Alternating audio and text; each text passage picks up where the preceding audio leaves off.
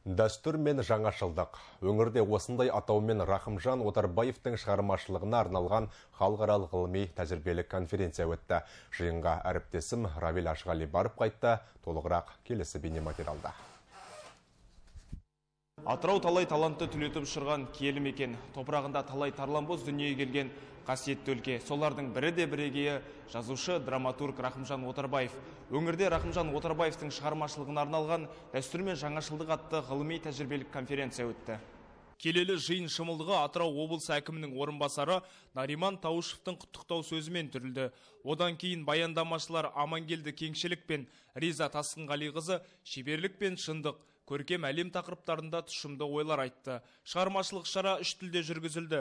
Қазақ зиялыларынан бөлек Ресей мемлекеті өкілі мәдениеттану ғылымдарының докторы Марияна Андреева мен Қырғызстан ақыны Рақымжан Отарбаевтың бас романын қырғыз тіліне аударған аудармашы Болотбек Бейшебайұлының баяндамалары оқылды. Бүгінгі конференциясы бұл әліппе ғана. Келешекте әлем әдебиетімен қатар дамитын қазақ әдебиетінің бір тұғыры ретінде қалыптасу керек. Әсіресе шыңғысханның көз жасы мынау бас роман туралы өте көп мәселелер айтылады. Қалай да бұны зерттейтін халықаралық деңгейдегі сарапшылар өзінің ой пікірлерін жеткізеді. Мен бұған кәміл сенемін. Атырау бүгін әлемнің назарына іліну керек. Тек қана бір ғана рахымжан бір ғана жұмекен бір ғана махамбет бүгін атырауды әлемдік деңгейге алып шыға алады. Біз барлығына шала көзқараспен бұрынғы реализмнің бір былшықтанған көзқарасымен қарап жүрміз. Біздің көзіміз ашылу керек. Ашылу үшін күллі қазақстан деңгейіндегі барлық руханият иелері осы атыраудың алтын топырағына келіп бұған тәж ету керек және де осы жердегі руханиятпенен қайта жете танысу керек. Бүгін атырау төрінде рахымжан ағамыздың 65 жас мерейтойына арналған халықаралық конференция өте жоғары деңгейде өтіп жатыр. Осы бір игі шараның ортасында болғаныма қуаныштымын.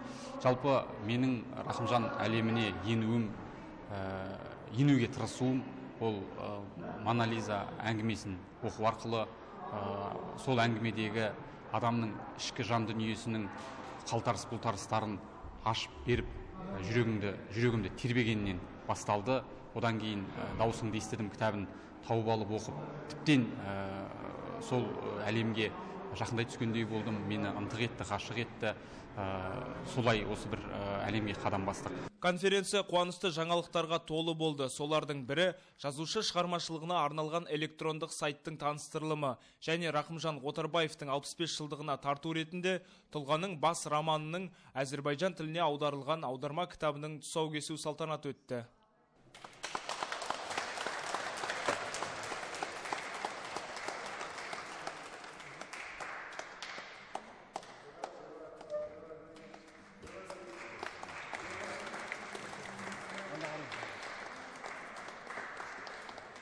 Халықаралық ғылыми тәжірибелік жиын аясында рахымжан отарбаев драматургиясы зерттеу мен зерделеу тақырыбында шығармашылық байқау өткен болатын.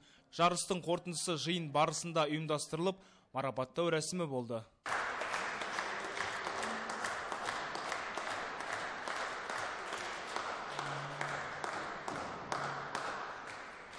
Орын алуы жастардың рахымжан отарбаевтың шығармашылығымен қызығу және оны зерттеуі бұл жақсы бастама деп есептеймін.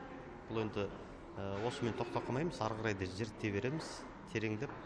Бұл енді жалпы бізге осындай жақсы мүмкіндік берген рахымжан отарбаев атындағы қордың басшысы сәуле апайымызға алғыс айтамыз.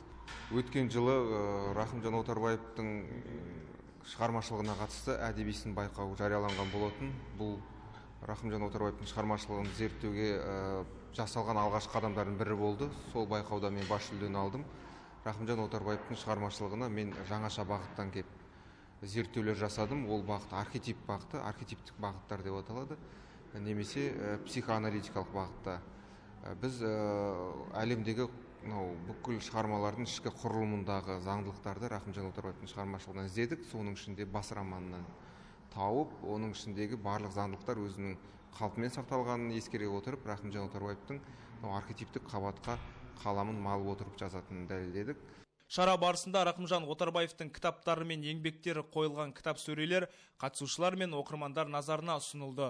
Айта кетейік конференцияның жұмыс тәртібіне сәйкес аталған шара жалғасын табады. Республиканың түкпір түкпірінен келген қонақтар сарайшық ұлттық мемориалды музей кешеніне сапарлатып кешкі 19.00-де махамбет өтемісұлы атындағы облыстық академиялық драма театрында жалғыздық қойылымын тамашалайтын болады. Равиль ашығали жарылғаш жалғасов жаңалық қызметі.